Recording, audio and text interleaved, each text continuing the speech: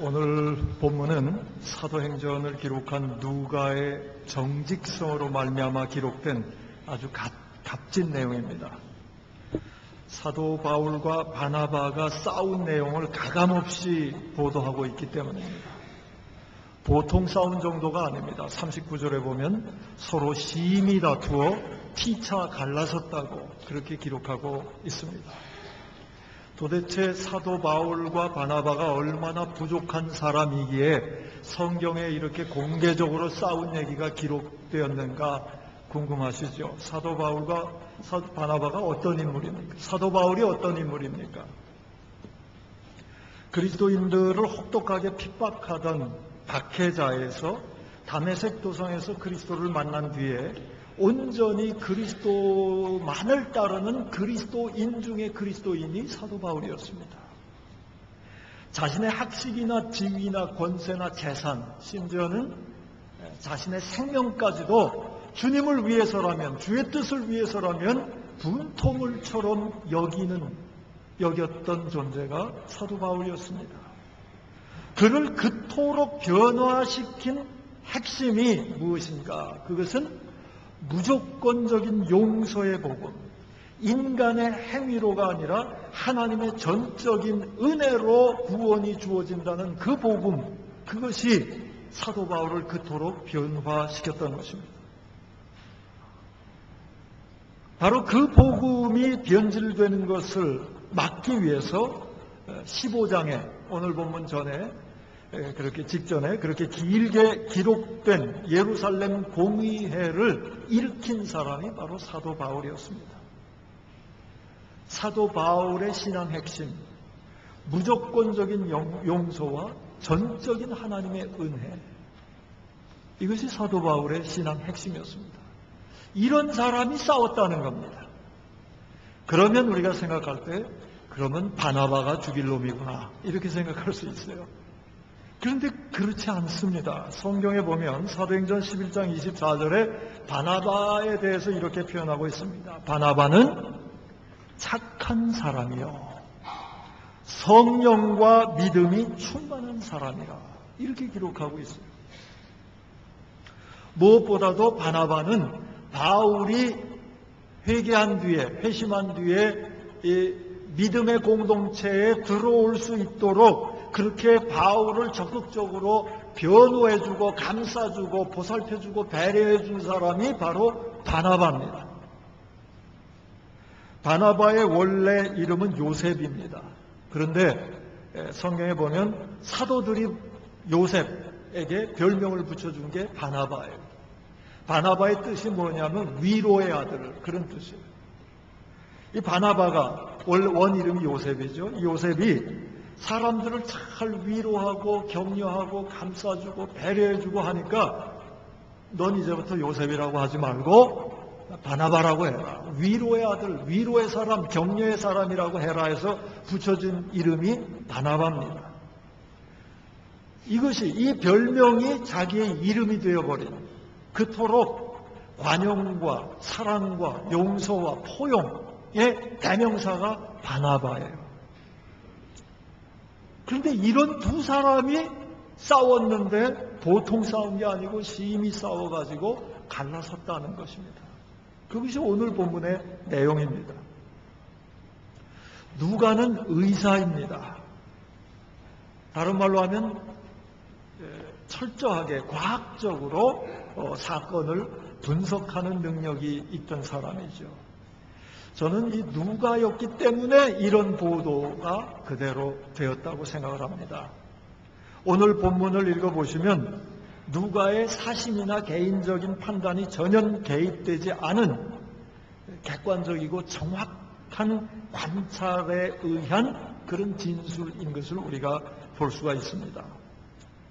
다른 사람 같았으면은 바울과 바나바의 그 위대성과 초대교회의 영향력을 생각해서 어, 오늘 사건을 보도하지 않을 수도 있었습니다. 누가니까 정직하게 그것을 넘어가지 못하고 그냥 보도하게 됐던 것입니다. 그래서 바나바와 바울이 싸운 얘기가 성경에 기록되어 있는데 이것이 우리에게 주, 주, 주는 아주 깊은 의미심장한 메시지가 있는 것입니다. 주의 일을 잘 하고자 할 때 싸울 수도 있습니다. 위대한 바나바와 바울이 관용과 위로의 대표자인 바나바 그리고 용서와 은혜의 대변자인 바울도 싸웠는데 우리가 뭔데 안 싸우겠습니까? 안 싸우는 게 이상한 거죠. 뭔가가 잘못되어 있는 거예요.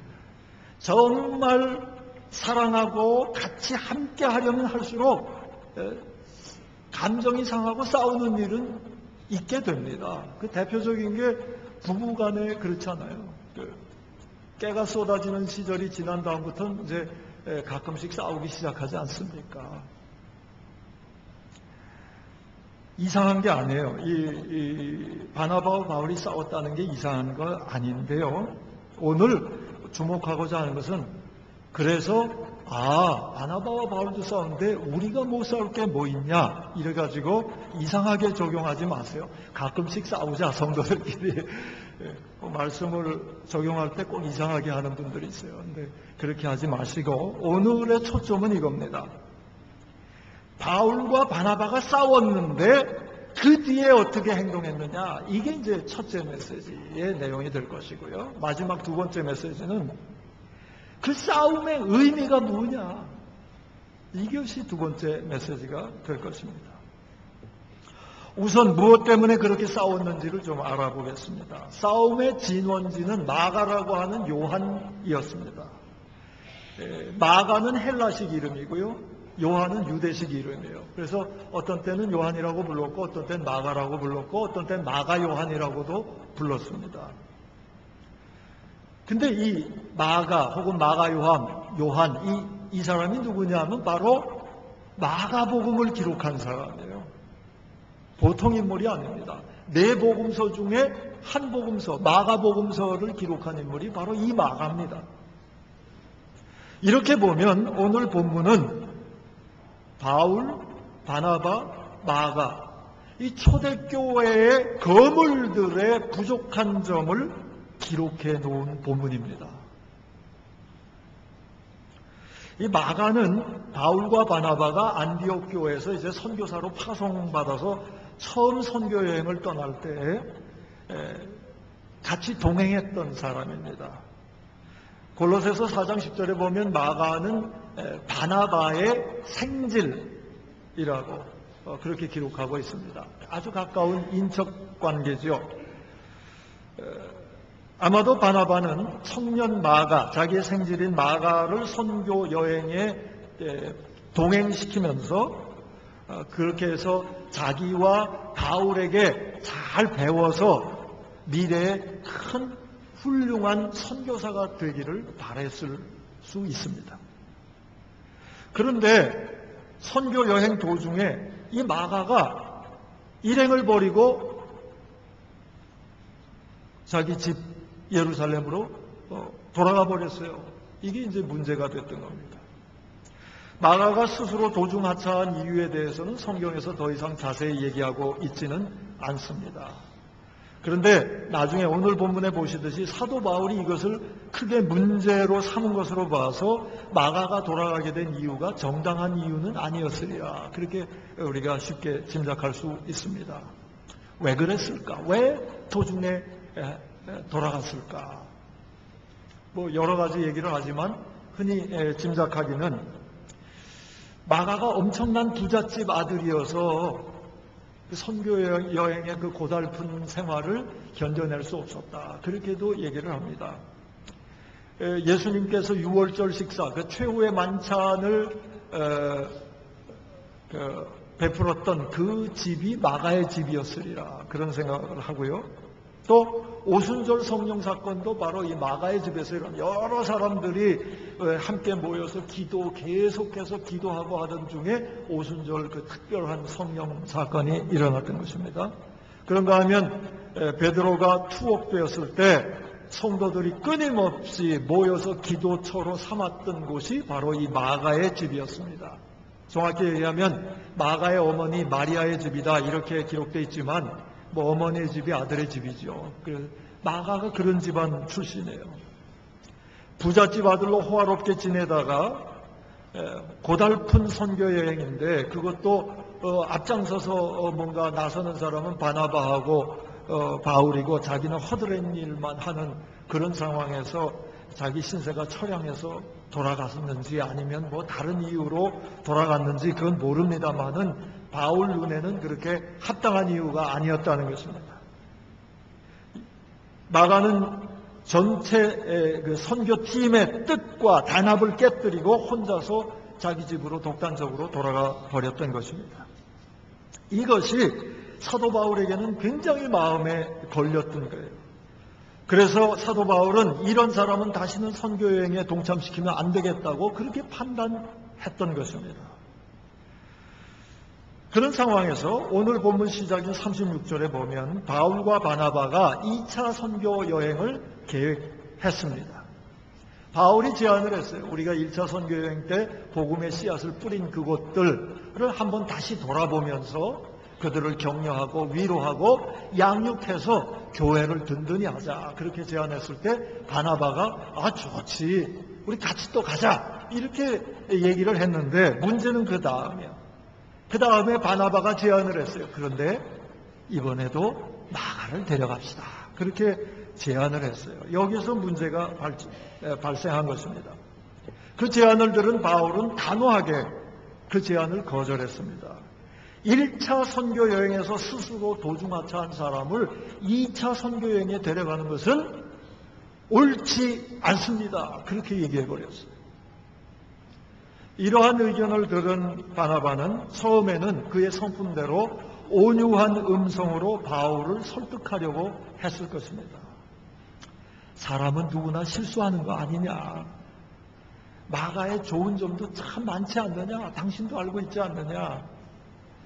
지금 자기 반성을 많이 하고 또 따라가고자 하니까 그만 이전의 그 실수는 용서해주고 젊은인데 재기의 기회를 줍시다. 그렇게 설득을 했을 거예요. 그런데 바울은 단호하게 그것은 옳지 않습니다. 이렇게 아주 직선적으로 어, 얘기를 했습니다. 그래서 결국 결과는 심히 다투고 피차 갈라섰다. 그렇게 성경은 기록하고 있습니다. 39절에 심히 다투었다는 원어는 감정의 폭발 상태를 표현하는 그런 에, 그 뉘앙스를 가지고 있는 것입니다. 그 후덕한 바나바가 감정이 폭발했다면 얼마나 심각한 충돌이었는가를 우리는 짐작할 수 있습니다.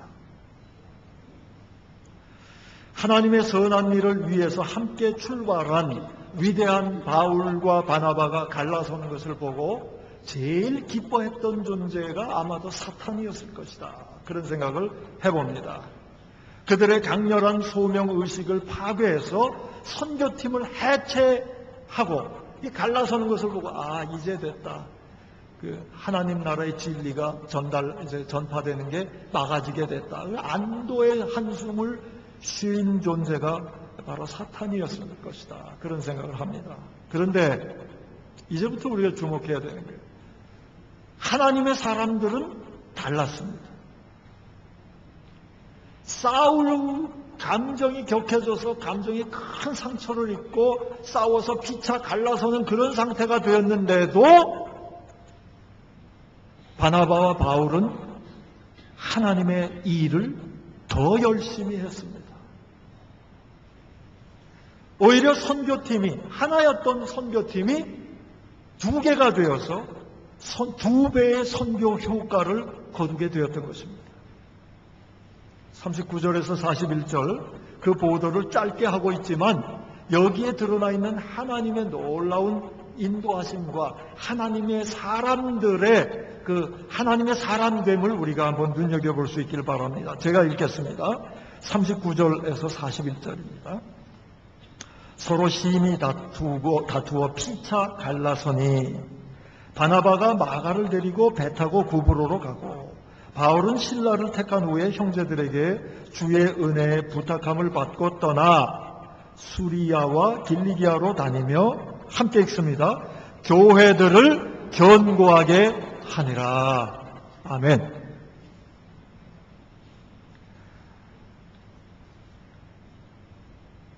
주의 일을 열심히 하려고 할 때 감정이 상할 때가 생깁니다. 그럴 때에는 모두 다 팽개쳐버리고 침잠해버리고 싶은 원망만 생기는 그런 상태가 있게 되지요. 부부간에도 있는데 예, 전혀 모르는 사람들끼리 모인 공동체에 그런 게 없을 수가 없는 겁니다. 예, 혹시 부부싸움 한 분 계세요? 감정이 격해지고 싸웠, 을 때라도요, 성경에 인도하시면 이거예요. 그럴 때일수록 두 배로 잘해줘라. 그게 하나님 기뻐하시는 거예요. 너 내 감정 상하게 했지? 월급 안 줘. 너 내 감정 상하게 했지? 밥 안 해줘. 이런 식으로 나가면 안 된다는 거예요.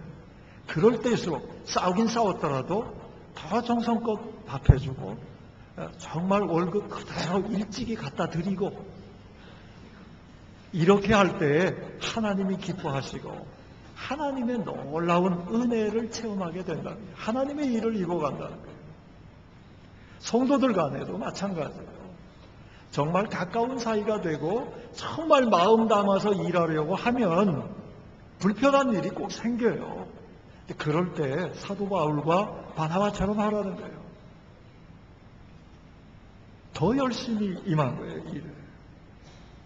오늘 하나님께서 우리에게 주시는 메시지는 이것입니다. 주의 일 하다가 괜한 어려움에 빠지고 감정이 상할지라도 주의 일 하는 것을 멈추지 말고 오히려 더 열심을, 열심을 내서 주를 기쁘시게 하라. 그렇게 해서 사탄을 슬프게 하라. 이것이 오늘 첫 번째 메시지인 것입니다. 사탄이 우리의 소명을 파괴하려고 술수를 부릴 때 오히려 두 배로 소명을 완수하는 저와 여러분 될 수 있기를 축원합니다. 두 번째 메시지로 넘어가 보겠습니다. 두 번째 메시지는 이 싸움의 의미가 무엇냐 조금 더 그 초점을 축소해서 좁혀서 어 우리 표현을 하자면 이런 거예요. 왜 하나님은 바나바의 의견을 들어 쓰시지 않았는가? 바나바는 이 사건 이후에 이제 마가를 데리고 구부로로 갔다고 한 이 보도 이후에는 바나바는 더 이상 성경에 등장하지 않습니다. 마가는 나중에 바울과 동역하는 얘기가 등장을 합니다. 왜 하나님은 더 이상 바나바를 이 바나바의 의견을 채택하지 않았는가? 그리고 바나바가 사라지도록 했는가? 바나바가 나빠서 그랬는가? 그건 아니에요. 바나바만큼 관용과 용서와 이 품어주고 배려해주고 하는 격려해주고 하는 그런 사람 성경에 잘 없어요. 그런데 왜 바울을 택하셨는가? 여기에서 이런 사건을 통해서 주시는 하나님의 메시지가 무엇인가? 이것이 이제 두 번째 초점이 되는 것입니다.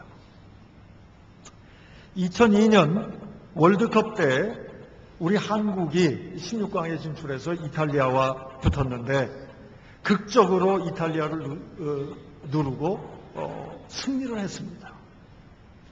남녀노소 할 것 없이 온 국민이 밤늦도록 그 기쁨을 즐겼습니다.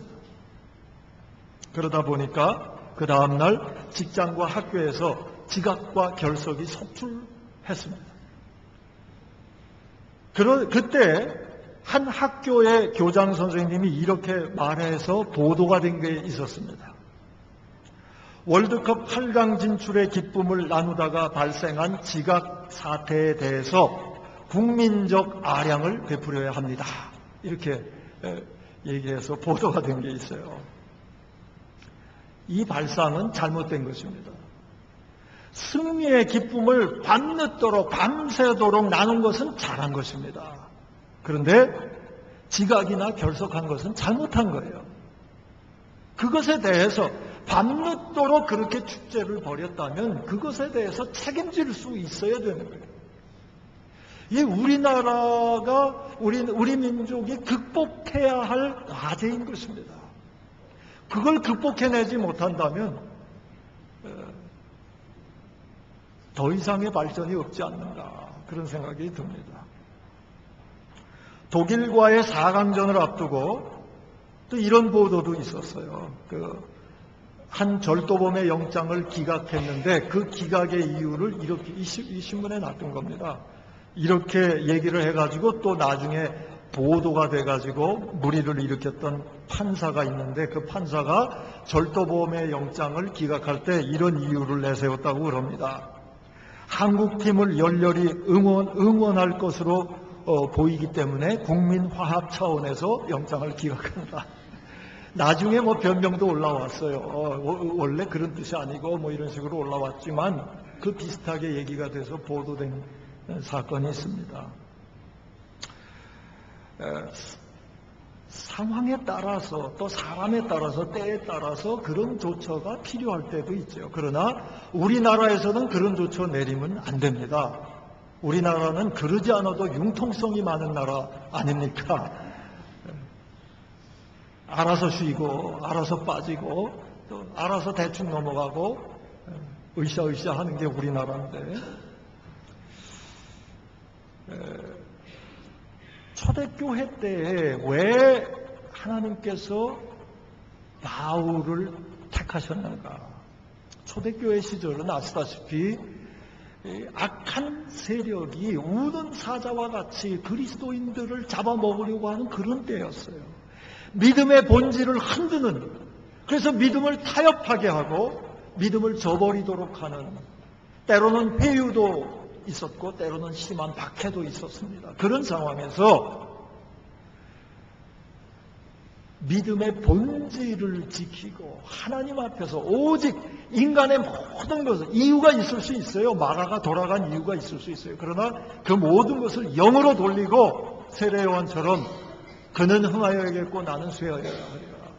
나의 모든 것은 분토물로 여기고 예수 그리스도만 드러나기를 원한다. 사도 바울의 이 고백처럼 내가 죽든지 살든지 주의 것이다.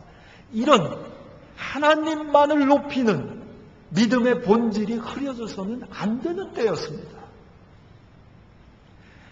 바나바가 관용이 있고 배려가 있고 위로를 하는데 그렇게 쉽게 할 때가 아니었다는 것입니다. 그런 마음이 있어도 그건 속으로 꾹꾹 눌러놓고 더욱더 칼날 같은 믿음의 본질을 내세워야 할 때가 초대교회의 상황이었다는 것입니다. 그래서 하나님은 사도 바울을 택하셨던 것입니다. 이 말씀은 특별히 우리 민족에게 필요한 메시지인 것입니다. 우리 우리나라의 고질적인 병폐가 무엇입니까? 고질적인 병폐를 드러내는 낱말들이 뭐가 있나요? 같은 지역 출신, 실력이 있냐 없냐, 능력 그것을 감당할 자격이 있냐 없냐 그거보다도 어 우리 동향이네 이게 아직도 위력을 발휘하는 나라 아닙니까? 같은 학교 출신, 같은 학교 선후배, 코드 인사, 또 아주 감동적인 말도 있죠. 우리가 남이가 그러면 그냥 본질이고 뭐고 없어져요. 왕따 뭡니까? 너는 남이야. 그 선언이 왕따 아닙니까? 극단적, 극단적인 표현이 왕따잖아요.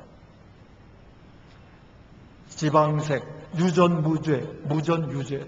왜 유전은 무죄가 되고 무전은 유죄가 되는 것입니까? 돈으로 본질을 흐리게 하면서 관계를 형성해서 결론을 내는 게 유전 무죄, 무전 유죄 아닙니까?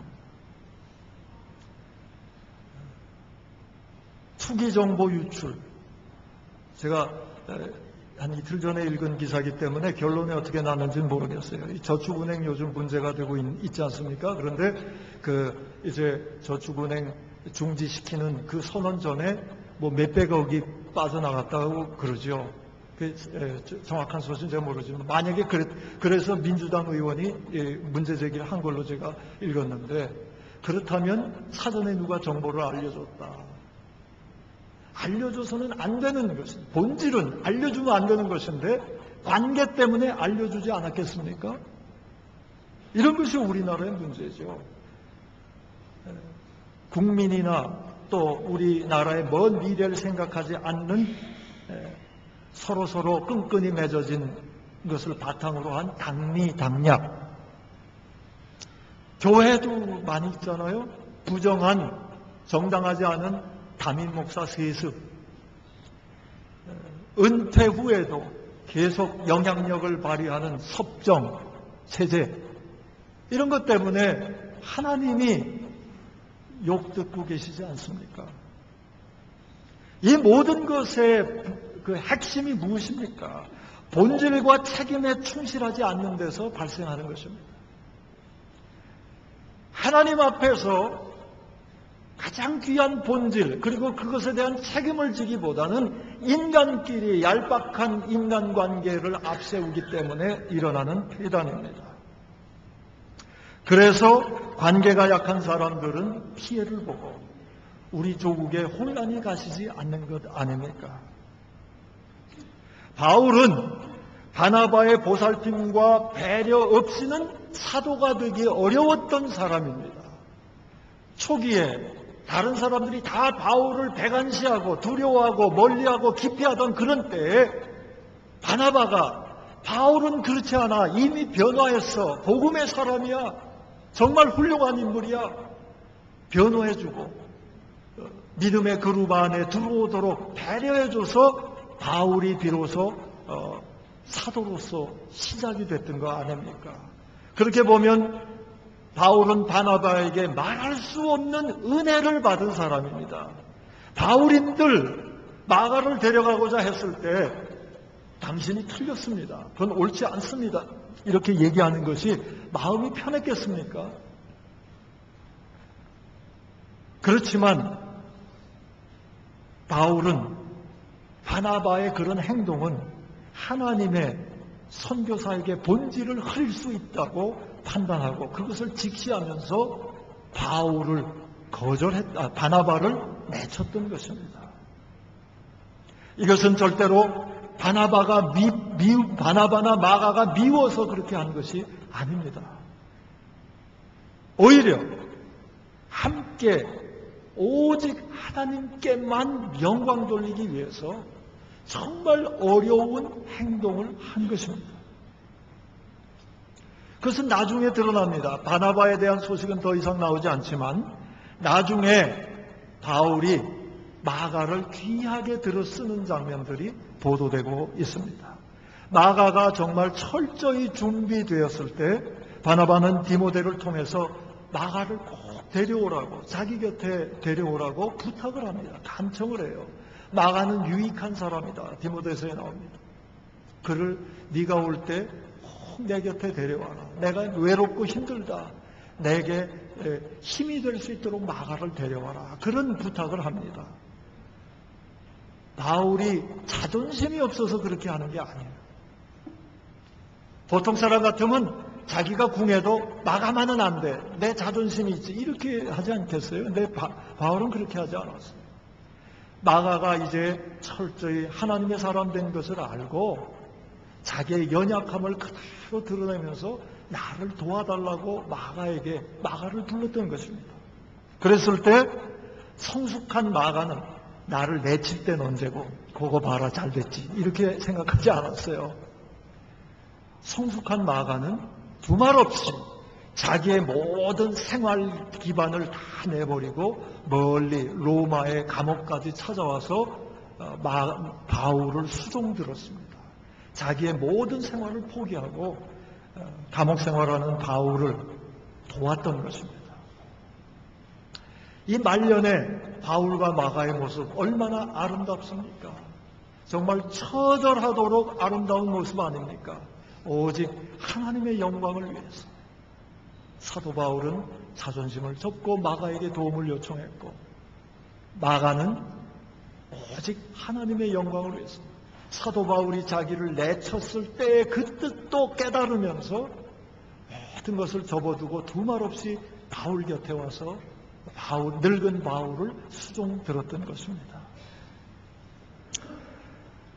우리 그리스도인들의 아름다움은 이런 데서 나오는 것입니다. 술 한 잔 먹고 어, 네가 나고 내가 너다 하는 그런 정도의 관계가 아닌 거죠. 오늘 본문은 이런 아름다움을 하나님을 중심으로 맺어지는 이런 아름다운 신뢰의 관계를 오늘날 한국 교회들이 구현하라는 하나님의 음성인 것입니다. 얄팍한 인간관계에서 떠나서 오직 하나님만을 서로 높이면서 자기를 희생할 줄 알고 자기를 내던질 줄 알므로 비로소 하나님이 연결해 주시는 그런 세상의 그 어떤 것도 깨뜨릴 수 없는 그런 신적인 신성한 거룩한 인간관계 신뢰 관계 그것을 우리 그리스도인들이 구현하라는 것입니다. 세상은 지금 우리 그리스도인들에게서 그런 그런 하나님의 본질을 구현하고 그 본질로 말미암아 세상이 범접할 수 없는 신뢰 공동체 그것을 우리 교회에서 보기를 원하는 것입니다. 이제 말씀을 정리합니다. 첫째, 주의 일 하다가 감정이 격해지고 관계가 일시적으로 파괴되는 듯한 그런 상황일수록 오히려 하나님의 일에 더욱 열심을 내라. 제2의 바울과 제2의 바나바가 되어라. 이것이 첫째 메시지입니다. 두 번째, 얄팍한 인간관계에 의한 그런 신뢰가 아니라 하나님의 본질에 충실하여 충실한 그런 정직으로 하나님이 엮어주시는 그런 깊은 신뢰의 관계를 만들어가라. 이것이 두 번째 주시는 메시지입니다. 이 두 말씀 받아서 우리의 삶을 본질 중심으로 그리고 정말 하나님 중심의 그런 신뢰 관계로 만들어감으로써 세상의 빛과 되, 빛이 되고 소금이 되는 저와 여러분 될 수 있기를 축원합니다. 기도하겠습니다.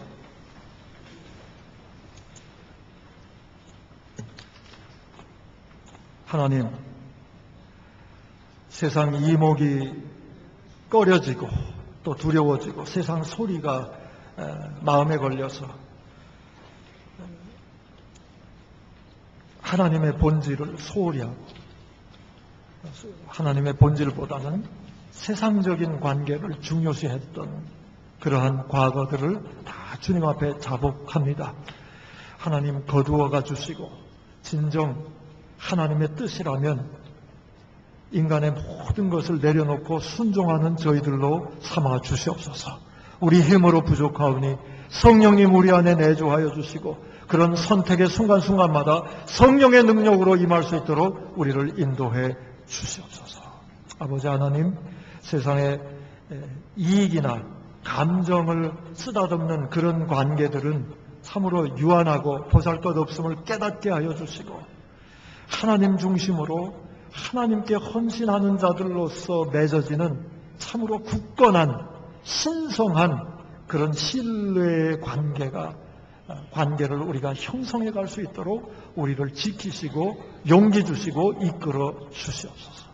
우리 싱가포르 한인교회 공동체가 본질에 충실하고 하나님 주시는 하나님 중심의 아름다운 관계가 충실해져서 정말 세상이 부러워하고 칭송하는 우리 싱가포르 한인교회 공동체 되게 하시고 그런 흔들림 없는 그러한 삶 살기를 원하는 사람들을 하나님의 전으로 하나님의 공동체로 인도해 드리는 놀라운 전도와 선교의 역사도 일으켜 주시옵소서.